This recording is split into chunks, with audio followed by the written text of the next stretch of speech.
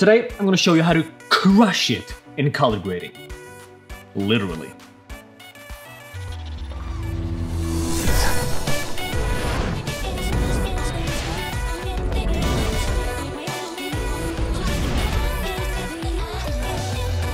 Welcome back, friends. Let's talk about that faded look that I personally love very much and use uh, way too often. I have to stop myself uh, a lot of times to not just make all of my footage, uh, you know, that faded cinematic look. I'm sure you've heard people talking about crushing or clipping the blacks, or maybe more commonly known as like a faded effect or faded look. It's pretty easy to do. It has its own slider in uh, Lumetri Color. Um, let's see. You can find it on Instagram.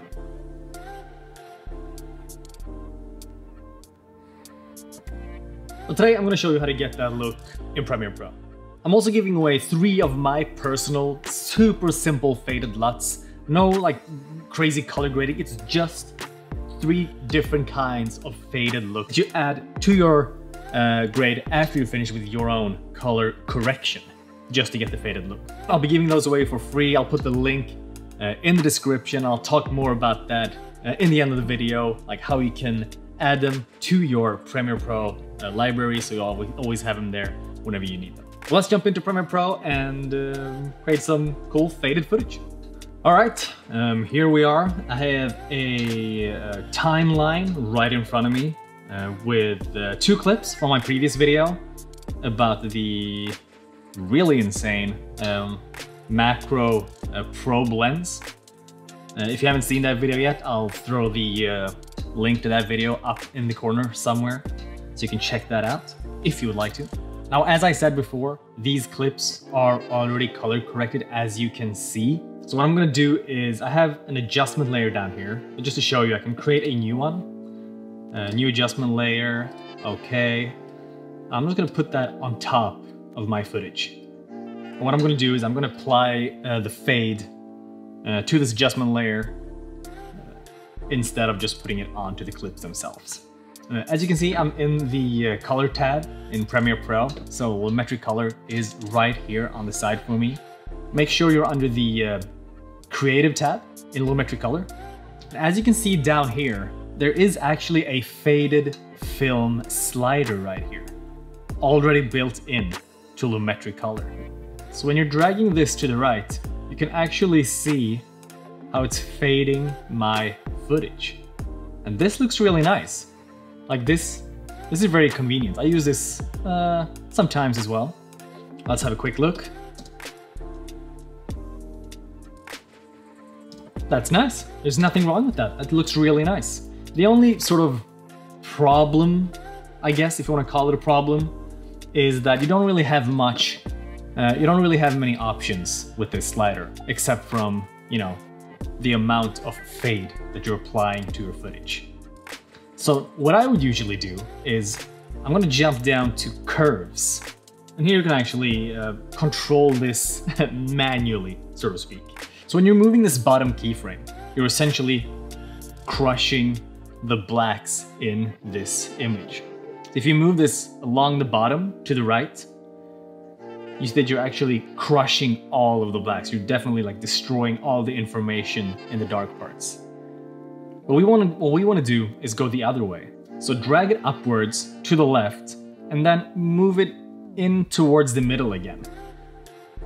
That's when you're gonna get this faded look to your footage. You can move this up and down along the middle and see where you find the sweet spot that really suits your footage. Let's have a look. I like that, not bad. Uh, another way that I usually do it is I put another keyframe right here, and then I move the bottom keyframe up against the left side again. Maybe somewhere around there. You can even maybe lift the highlight slightly.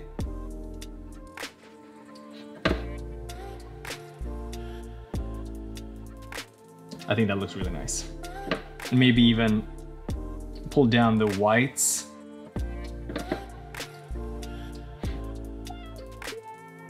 See how the whites are changing up here by the, the cutting board and the, uh, the dead cat.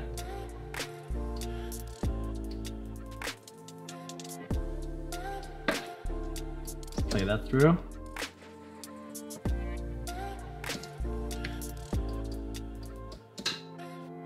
This, I think this is, like this kind of curve that we just created is my favorite type of faded look. I mean, obviously you'll have to play around and make sure it fits, you know, your footage. But I always end up somewhere around here. See, I also have this clip of me and my, and two of my very good friends, and walking across the uh, salt flats uh, in Utah. Uh, so let's just throw an adjustment layer on top of this as well.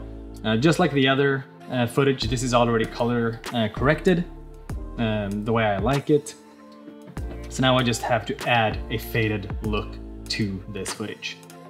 I'm just gonna do the same thing here. New keyframe. Gonna lift the blacks.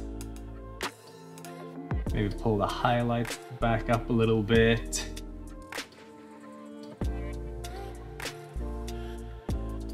There we go. Let's see, you know, kind of like it the way it is. Mm-hmm.